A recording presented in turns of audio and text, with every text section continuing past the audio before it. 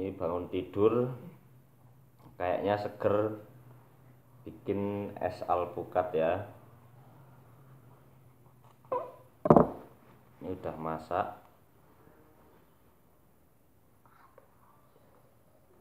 Wow kuning mentega. Sisi ya.